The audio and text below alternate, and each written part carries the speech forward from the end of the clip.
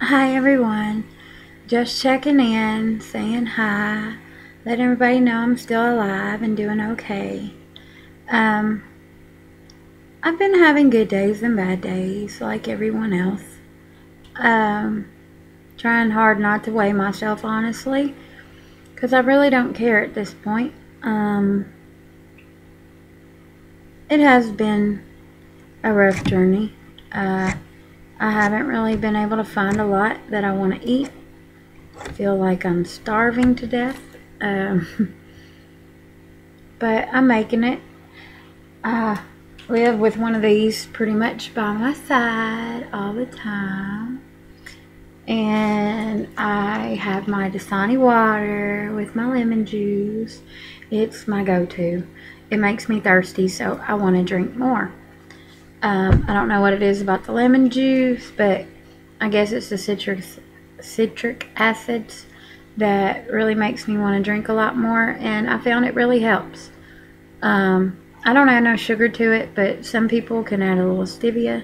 I guess that could help. I guess it couldn't hurt. Um, I try to just take one day at a time, and today I did something that I have never been able to do before. I put on my husband's lovely jacket, and it's an extra large. And I don't think I've ever fit in an extra large ever. It's still tight on me, but at the same time, I'm just shocked it fit at all. I didn't think my arms would even go in the armholes. Never mind. Um, my butt being able to zip it up or my breast for that matter. But I figured I lost quite a bit of that so it couldn't hurt to try. And to my surprise it fit completely. And I just wanted to show y'all um, I guess the new me. It was pretty cool. So here goes. I'm gonna move this back point it that way and stand up so everyone can see. It's the extra large. And yep, my butt still pokes out really far, but it fits. It's comfy, it's snug, but it works. I'd like to get rid of these little love handles right here, squish that on in. And these hips could definitely do for a trim. But I'm happy with where I'm at so far. Um, I guess it could be worse. It could be a lot worse. Um, I must admit, I didn't think that I would lose weight as fast as I am, being that I've been overweight all my life. But oh my God, it feels so good to just be able to do little things that um, a lot of people wouldn't even think about. Like when I get in the bathtub, I can put a fist on either side of me now. Um, where before, when I got in, half the water got out. um, little things like that really have made a difference.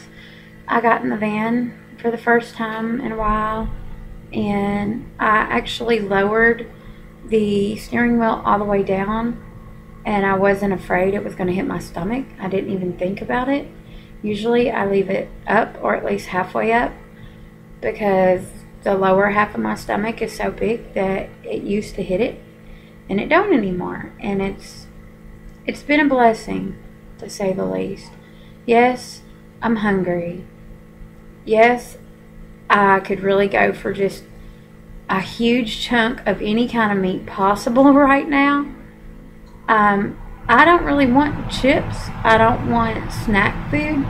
I want meat. And I, I want like a piece of steak or a piece of chicken or even um, some grilled salmon sounds good right now.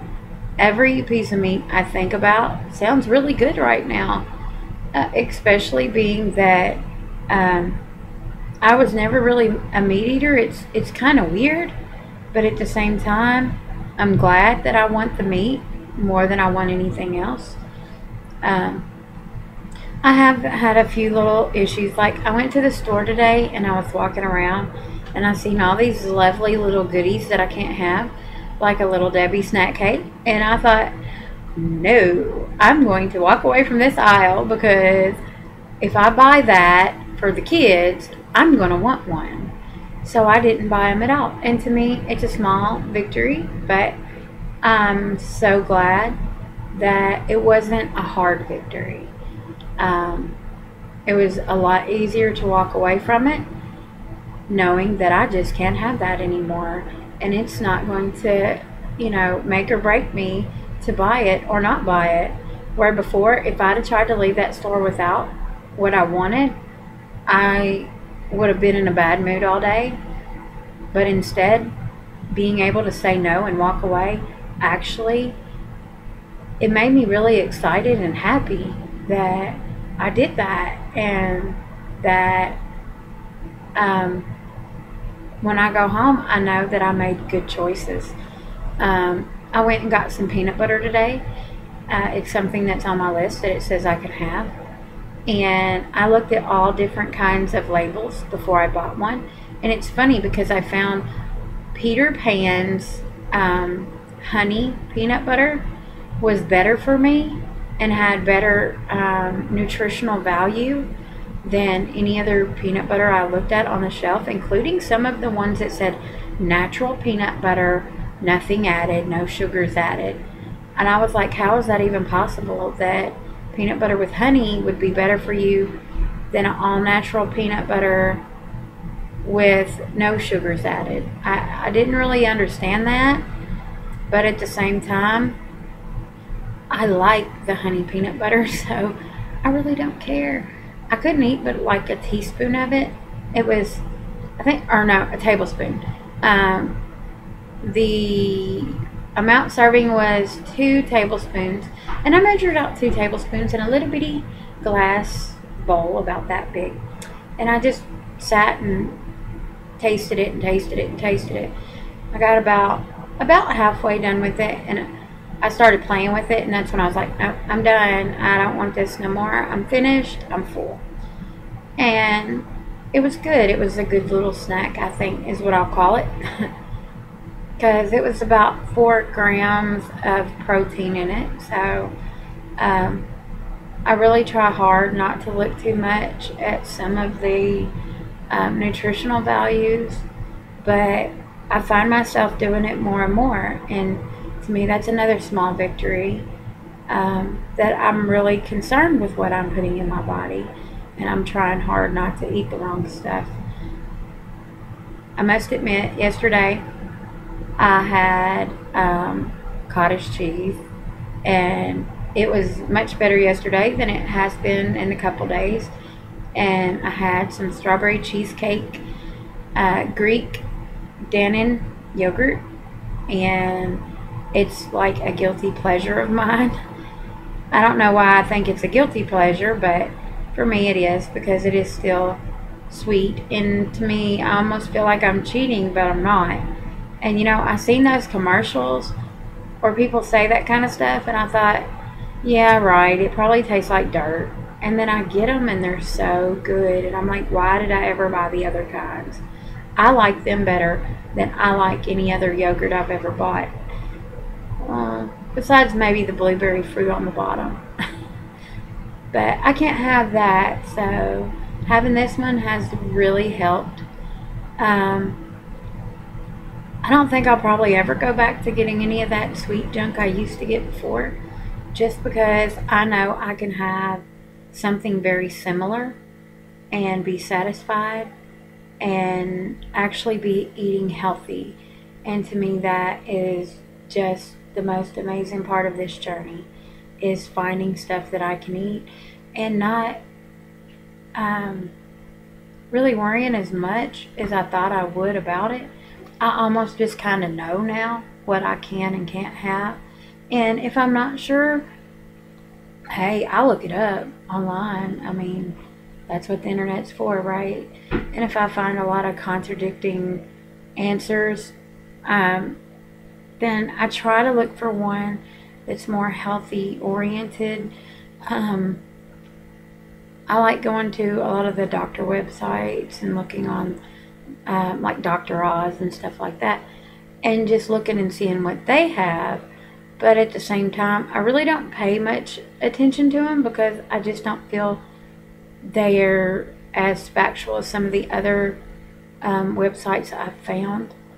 Um, it's it's hit and miss when you're looking online for anything on whether it's correct, but at the same time, um, a lot of stuff that I find online uh, on certain uh, websites is really helpful. And I love looking through the bariatric pages because I find so many recipes and things that I can try. And I just, I think I'm going to be able to do this. I, I know I'm going to be able to do this. Uh, I went walking with my husband the other day and we had such a blast just trying to stand up in that icy, slick, melted snow stuff. I don't know what you quite call it. It was like trying to walk on sleet. it wasn't slushy, it was hard, but underneath the hard was powdered snow. So you you crunch, you step, you crunch, you fall into the snow. And I was heavier, and I, I thought, oh, I'll just walk in his footprints but because I'm heavier than him, I was sinking further into the snow. And I was like, ugh. But um, we made it. It was an hour and a half walk. It was a lot of fun. I was really, really tired afterwards. Um, we got to the top of the hill, this big hill, and I did take a little break because I was exhausted. It was the longest walk I've had since my surgery. And you know, it's one thing when you're working and you're moving a little here and a little there, but to really just pound it out and keep a steady, fast pace and walk and walk and walk and walk and walk. It's harder than I thought it would be. And my husband, when we got to the top, I sat down for a minute at the bench um, that they have for a rest spot, and then I got back up and I walked on around and I didn't stop the rest of the way, all the way back around. Oh, excuse me. It's been a morning. But um, I must admit that when I stood back up, I didn't sit down, but for like a half minute. And I said, nope, I don't even want to sit down. I want to, I want to finish. I want to get this done. I'm tired, but I just want to get done and get back to the van so we can go. I was cold. Um, and for him, as soon as we got back to the van, he didn't really say much. And then I thought, you know, he was disappointed because I sat down. Um, but when we got home, he just wanted to tell me how proud he was of me for not really taking a break and for pushing through, even though I was tired, and and was like, I'm gonna finish this. I'm gonna do this. I can do this, and actually making it all the way. Um, usually during summertime, excuse me, usually during the summertime, by the time I get to that top of that hill, I am so exhausted and so red in the face. I can hardly breathe. I'm wheezing. I have to use an inhaler. I didn't have to use an inhaler at all. And that was my biggest shock. Um, I didn't even take my inhaler because I didn't even think about it. And I'm glad because I didn't have to use it. Oh, I can't quit yawning this morning, afternoon, whatever you want to call it. It's 3 o'clock in the afternoon, but I still feel like it's morning, like I just woke up. But, anyways, um, I just wanted to check in with everybody, let you know I'm doing well. I'm still alive. I'm still kicking it. Um, I really don't want to rush on worrying about the weight loss as much as getting down how to eat right. Some people do. I do weigh myself. Oh, I just can't quit yawning. I do weigh myself from time to time, and I'm. I don't want to become one of them people that just sticks so hard and worries so much about um, weighing myself that I beat myself up all the time because I know this is a process and it's a journey. And I just weigh myself sometimes to make sure that I am on track and I am doing okay. Uh,